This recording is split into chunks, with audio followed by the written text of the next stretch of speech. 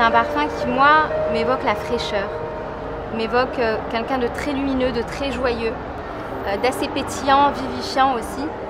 C'est un parfum qui est assez, euh, qui est assez frais. Pour moi, c'est vraiment quelque chose d'assez élégant.